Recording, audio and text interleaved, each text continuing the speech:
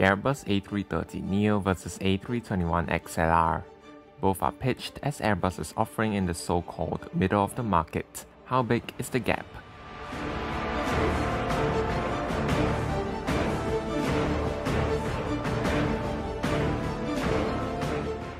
Before we find out, if you're new here, a warm welcome and do subscribe for more great aerospace videos on the way. Also, be sure to check out the official new Aerospace Productions Instagram page at AviationFlyer350. A link is in the description and comments below.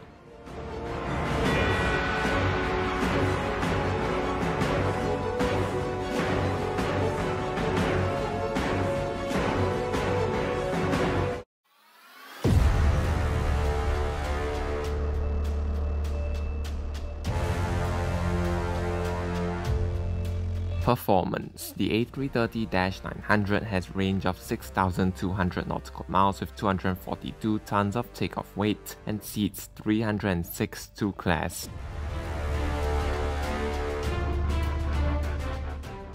The A321XLR flies 4,700 nautical miles and carries 206. The smaller Dash 800 is closer in capacity to the XLR with seating at 252 for 3 class.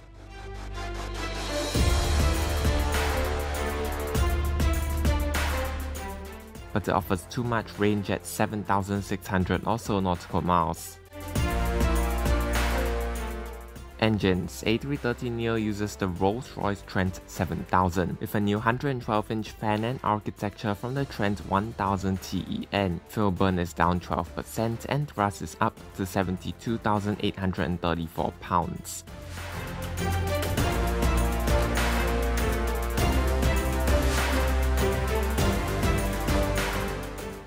The A321XLR uses either two PW1100G or two CFM LEAP 1As, with up to 33,110 pounds of thrust.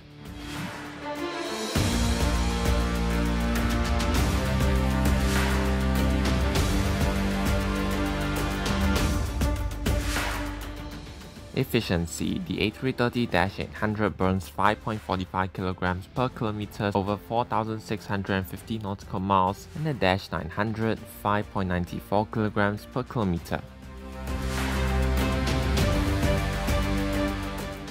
However, as the Dash 800 is a simple shrink with the same wings and engines but with much fewer seats, it suffers in seat cost at 2.75 liters per 100 kilometers per passenger compared to 2.48 liters per 100 kilometers per passenger of the Dash 900. The A321XLR burns virtually the same amount of fuel as the LR, with fuel burn per trip at 2.99 kg per kilometer and 2.43 liters per 100 km per passenger for 3 class 154 seat layout.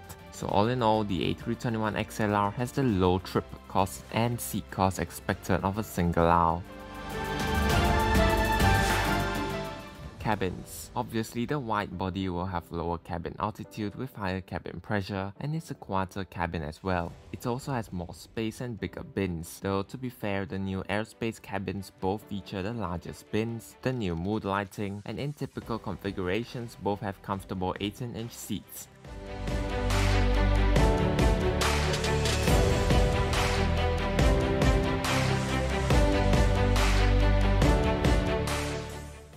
Also have the newest IFE and Wi-Fi.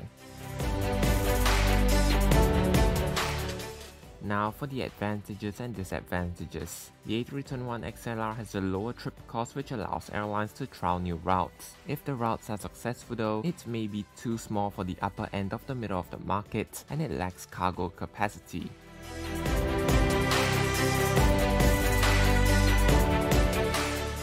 The A330-800 offers the right amount of cargo and passengers, but as it is a shrink of the Dash 900, it has additional range not needed which comes at the expense of cost per seat. The Dash 900 has a seat cost to complement the XLR, but is too large and is really going after the 787-9 on shorter routes.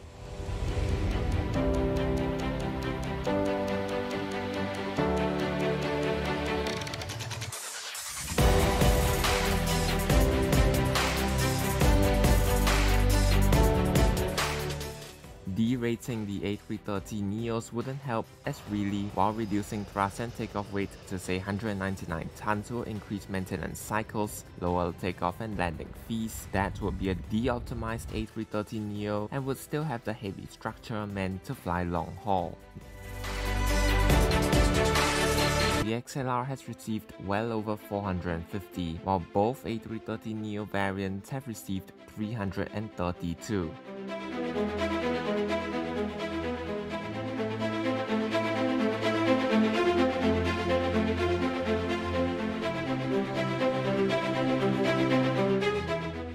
So there we are. Really, in my view, the XLR serves the lower end of the middle of the market well, but the A330neo is more of a longer range wide body that has too high trip cost. Still, Airbus is the only one to offer a serious contender in the market segment currently, and the XLR will be a market opener.